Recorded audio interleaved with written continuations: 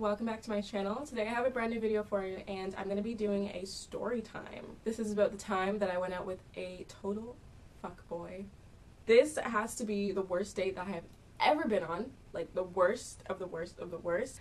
So before I start the story, I just have to say follow my social media. If you enjoy the video, make sure to give it a thumbs up and subscribe to my channel for more story time. Okay, so the story starts at Frosh Week. It was my second year of college and basically there was like this paint party event that was going on. So my friend and I went because we both went to the same college and we get there pretty late, but whatever. We get on the party bus and we head to the party. We're just dancing, having a good time. Actually, no, not really. It was pretty fucking boring. So we're just like dancing and some guy comes up behind me and starts dancing on me. And like I don't like dancing with guys when I go out. I don't know why. I just feel like it's not fun for me. Like maybe for the guy it's fun, but like for me, I'd rather just dance with my girls. I'm dancing, whatever, whatever, and then he comes up behind me. I don't really notice for a while, and then I finally turn around. I'm like, hi.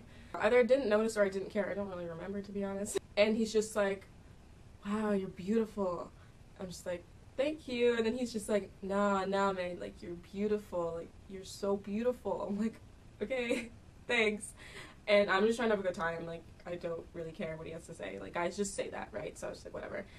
No, like what's your background? Like I've never seen someone with such a perfect face like yours. So then I tell him my background, and then he's just like, yo, yo, yo, yo, and you're mixed? Oh man. Hahaha, thanks, thanks. Okay, let's move on now.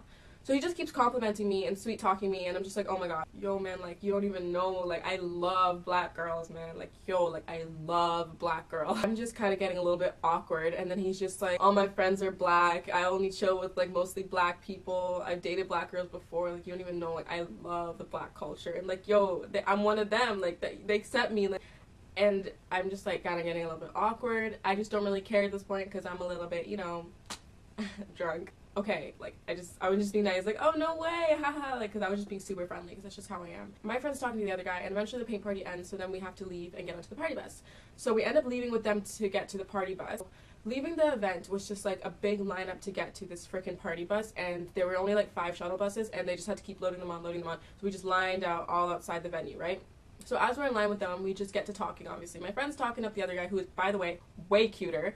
Um, I'm talking to this one, and he's not bad. Like, he has nice green eyes, like, nice hair. It's just a little bit too long for my liking. He wasn't my type, but he was decent. We're just talking, and he's telling me about how he lives on his own, and telling me about his life, and how him and his friend, like, had a lot of fun that night. And how he doesn't go to college, but, like, he does construction and mechanics, and his friend goes to the same college as my friend and I, and that's how they ended up at Frosh Week and we just started talking. It was maybe like an hour in this line, 40 minutes to an hour. And we leave and he asks for my number and I just felt so bad saying no. I don't know why. I never feel bad saying no. So anyways, he gets my number and the next day he texts me, right? he texts me, "Good morning, beautiful." Good morning, beautiful. Really? Really? I'm just like, "Hey, how was your night?" or something like that. Fuck. I I have it on my iPhone 4S. I should like insert screenshots if I find it. If I don't, then whatever. And he's just like, it was good. Did you have a good time, sweetheart? Number one fucking pet peeve when talking to guys is when I don't know them and they call me sweetheart, babe, hun. So don't do that. You do not know me. Do you even know my name? Like, do you know my name? And then we just talked for like the week or so through text. He tried to make plans to hang out, so I wasn't really having it. I don't know why I was replying, but um, my friend eventually convinced me like Ashley you have nothing to lose. If anything you just get more dating experience you know what I mean? You know what you don't like. So I'm just like I really don't want to. Like, you guys don't understand. Like I really didn't want to. Even the day up I did not want to go. I didn't even try. I wore like a baggy sweater and like a little bit of mascara and a leather jacket and just like jeans. Like I didn't even look that great. I think I have a picture on Instagram. Yeah I do. Um it was from the day of. It was right before I left. He finally convinced me to go, so I'm like, fine, I'll just go. So I go on this stupid ass date. He texts me. He's like outside. So I'm like, all right. So I get in the car, and first thing I shall say is that his car is fucking filthy. Like filthy. The whole back seat is filled with boxes and filled with dirty clothes and filled with like just nonsense, like just trash and like McDonald's bags and empty coffee cups and just like wires. I don't know what the hell he's been doing in his car he's been living in it, but that shit was dirty. You know, like the stick shift thing and how it says like park drive reverse neutral, all that stuff. Inside, like the groove of where that is, it was filled with crumbs and like stickiness. Like you couldn't even see the letters. Like it was filled. And like there was like sticky little splotches all over the dashboard. Oh my god, it was so dirty. And like the seat had a stain on it and it just smelled musty. So I get in the car and I'm just like trying not to touch anything. I'm like, hi. He's like, hey. I'm like trying to be all smooth. Oh, how was your sleep? Oh, blah blah blah. And then he's just like, yeah, I cleaned my car for you. Wait, what? You cleaned your car for me? This is your car fucking clean? So I literally sat there like, are you, is this a joke? Like, I was just sitting there like, wait, wait what? Where? Which car?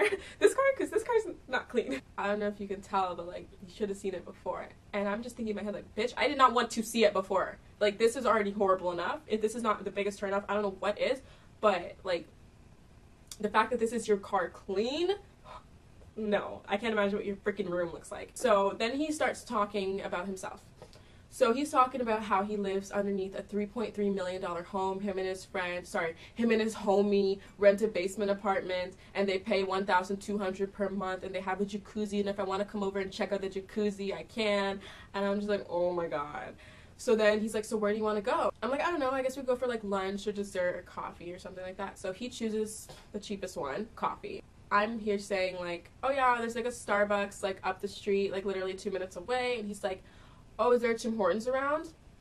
And if you are watching and you're not from Canada and you don't know what Tim Hortons is, Tim Hortons is the equivalent to like Dunkin' Donuts, and it's really cheap. Coffee's like a dollar there, and I'm just like, okay, you don't need to spend your life savings on me, but really, you're gonna take me to Tim Hortons. So I'm just like, yeah, there's a Tim Hortons right across the Starbucks, and he's just like, all right, cool, but Tim Hortons then. I'm like, okay. We go inside the lineup, and like he first of all just like walked straight through the door. Like he didn't even hesitate to open the door for me. Didn't even do that like one arm thing where like he goes through first and kind of opens it for me. No, like he did not give a shit. He just walked through the door. So that was already like ill. I'm sorry, but like ill. No, like I was raised to not tolerate certain things from men, and mm, sorry, I have high standards. So we get in line and we're like about to order, and he's like, "Yo, do you want anything?" So I'm just like, "Oh, well, yeah." I just I okay, sure. He ordered an extra large fucking coffee. And okay, there's Tim Hortons sizes. There's like small, medium, large, extra large. It's like from here to the bottom of this mug, it's fucking huge. Like it's huge, right? So, okay, who am I to judge? If you want to get extra large coffee, get extra large coffee. It was just kind of weird to me. Like you can get that after like we finish up, but whatever. That's not bad. Gets an extra large coffee. Gets a motherfucking muffin gets a donut, gets a Oreo something, some like Oreo donut that they have. So we got two donuts, a muffin, an extra large thing, and like seven Timbits. And then he's like, yeah, so you do you want anything? So we get like a small little frozen raspberry lemonade. We order and he pays. He's like, do you want to just chill in the car? So we do, and we sit in the car and we just start talking in the Tim Hortons parking lot. So we're sitting in the parking lot and he just starts talking about himself, right? Starts talking about how all his homies are black and he's like i can't believe that i'm on a date with such a girl like you. Like you understand like i love black girls. All my homies are black and like yo like the perfect black girl sitting right in front of me yo like honestly like no man. I love your culture. Like i listen to Collie Buddz, i listen to Vybz Kartel. And he starts talking about how much he loves reggae and hip-hop and like then he's like yo you want me to play you something? Like what? And i'm just sitting there like honestly i don't really listen to them. Like i don't really listen to reggae um, it's not that I'm opposed to it. I think it's very catchy. I love when it comes on at the club. I just don't really go out of my way to download it, right? Which maybe I should because it's part of my culture. But like, anyway, so he starts playing reggae music, and he starts playing some like song, like some dirty lyrics song, and he's like, "You know this song?" So I'm just like, "No, I don't know this song."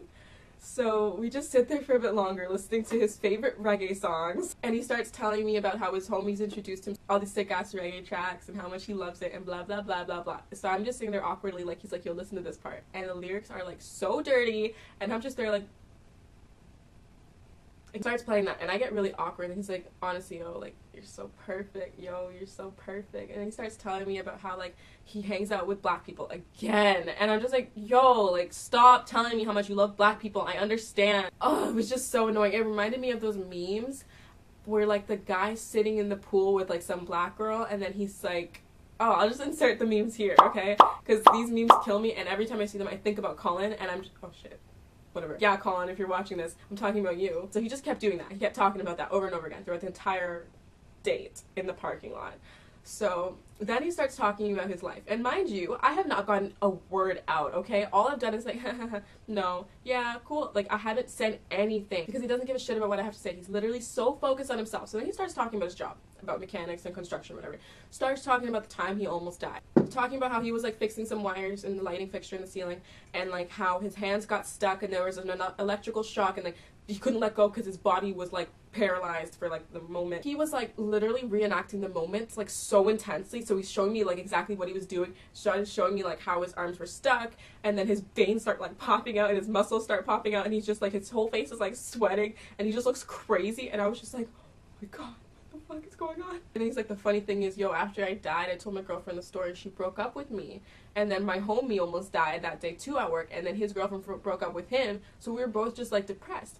And then this got him started on the topic of his ex girlfriend. Let me tell you something. If you're on a date with a girl and you can't think about what to talk about and you want to talk about something that you know she's gonna love hearing about, talk about your ex girlfriend. She's gonna love it. So at this point, I'm just like here for the entertainment. However, I did tell him that I had a baby shower at like four o'clock, so I had to leave by like two thirty. Okay, because it was pretty early. I didn't have a baby shower, but I knew I wanted an easy out. So that's on the topic of how she cheated on him and they were together for two years and after she cheated on him she broke up with him the day that he almost died. So he goes on to tell me about how special their bond was and how amazing their relationship was and how he had no idea. He treated her like gold and blah blah blah blah blah blah blah. And all of a sudden she he finds out that she's cheating on him and she had been cheating on him and then when he found out she broke up with him. Then huh, it gets better. Then he starts fucking tearing up Okay, he's telling the story. He can't even look me in my eyes because the guy is tearing up. His eyes are full on creating a pool of water. Okay, like it was like legit. Like he wasn't just like, you know, let me blink twice and it's gone. No, this guy, if he blinked, he there, there would have been teardrops falling down his face. So I'm just like, literally, I was not saying anything. I was just sipping my frozen lemonade. Oh, and I forgot to mention the first five ten minutes of us sitting in the car it was just him scarfing down his food. He finished that extra large coffee in a span of five minutes, okay? And he was spilling it on himself. Oh my god, I totally forgot to mention this. And he is eating the donuts and he has like Oreo bits around the corners of his mouth. I remember it like it was yesterday. And he has shit in his teeth and he's talking with his mouth full and he was just literally scarfing down those Timbits and those donuts and those muffins. He finished everything in a span of 10 minutes and he's finished his coffee within five minutes. He literally just, and he's just like, oh my bad. After he spills it on himself like it was really bad. So back to the ex-girlfriend. He goes on to continue crying about his ex-girlfriend like then he goes on to basically explain why he goes out with girls. So he starts talking about some girl he met on tinder and he's like yeah like i was going out with her. She lived in scarborough. And like yo like i was driving out of my way to go see this girl. And like yo i wasn't getting any pussy. And i really hate that word. I don't know why. I just feel like it's so vulgar.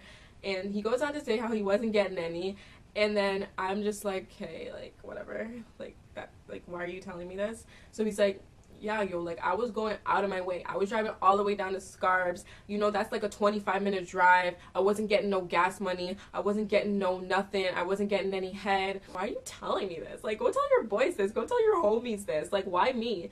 So he's like, and like, yo, like if I'm driving out of my way, I'm gonna go scoop you up. You know, I'm not getting anything returned. It's like, why am I doing this?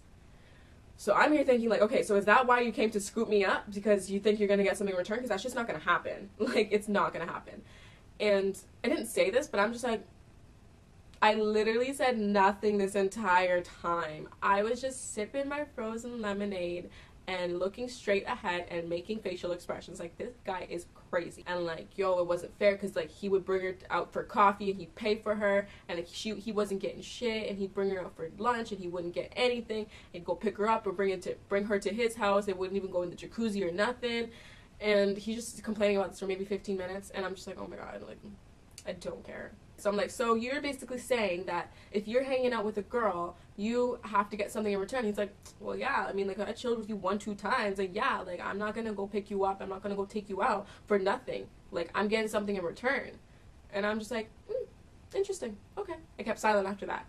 And then he just keeps ranting about that and how much he hates paying for girls and how much he thinks it's unfair and how he thinks that they shouldn't even go halves. Like the girl should just pay for the guy sometimes. And like he was just going on and on and on. He starts telling me about his life some more and about how like he's broke and how he never went to school. He's just doing construction and mechanics. He's like, yo, at one point I was so broke, all I could afford was peanut butter jelly, and bread. And I would just eat peanut butter jelly sandwiches every day of my life, five times a day, and that's it. I would just drink water. That's all I would do. And I'm like, so why don't you live at home? He's like, cause yo, fuck my parents, man. Fuck my parents. Yo, I'd rather live on my own. I can work for, I can work hard for myself. I do my own shit. Blah blah blah blah blah. I'm like, yeah, you're working so hard that you can only eat peanut butter and jelly sandwiches. Like, I'm sorry. Come on. I understand if like he really really had the struggle. Honestly, he had a car and you don't need a car. If you're really really struggling, you do not need a car, especially if you live in Toronto. And he didn't go to school, so he's not saving up for school. And he chose to rent a basement apartment under a 3.3 million dollar home with a jacuzzi in it. Like, come on. You don't have your priorities straight. Like if you're spending your money on like this shit and then you're not having a proper life, then this is your own fault. Date continued. And he's just like ranting about stuff and just keeps talking about himself. And then he's like yo i feel like i've been talking this whole time. Like tell me about yourself. Like t- what are you up to? You go to you go to college huh? You go to college huh just like yeah you know i go to college. What are you taking i'm taking business management. Oh cool cool. Yo my homie took business management. Yo like he was always going through this stuff. And then i realized i don't want to go to school. Fuck school. So that's how i started my construction blah blah blah blah blah.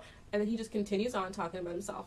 That that was it. That he learned maybe he learned maybe two things about me that day. Oh my god, look at the time. Like, shit, I have to get to this baby shower.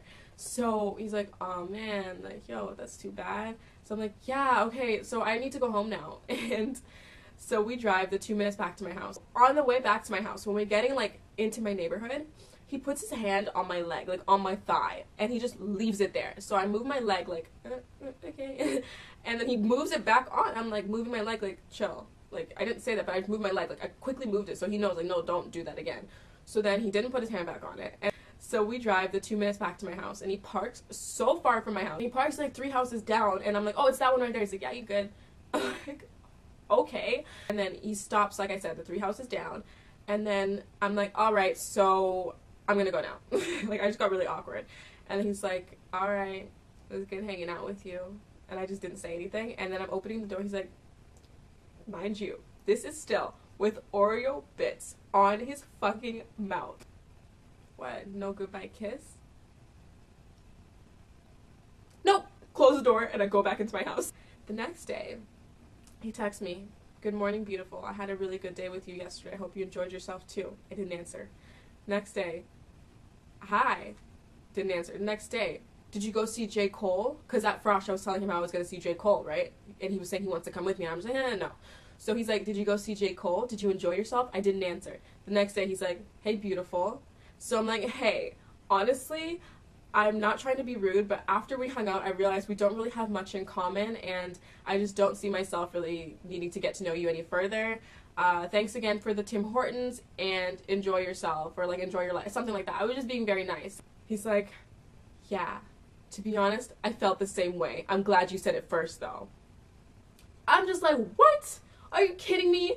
You did not feel the same way, okay? It, uh, it's just like I hate guys that have so much pride like that. Because first of all, the guy tried to kiss me, then he texted me like five times in a row in the span of like a week with no answer. Sometimes like twice a day, and I'm just like, if you don't want to talk to me, you wouldn't have been talking to me like you wouldn't have been messaging me like that. So he's just like, yeah. To be honest, I felt the same way. I'm like, okay, no worries. And he's like, yeah, I'm glad you were honest though. I really don't like when girls lie to me and blah blah blah. I'm like, yeah, yeah, okay. And then he's like, anyways, I'm gonna work hard. I'm gonna make my money. I'm gonna get on my shit. I'm like, yeah, yeah, yeah, okay. And he keeps talking. I'm just like, oh my god. And I'm like, yeah, that's good to know, Collin.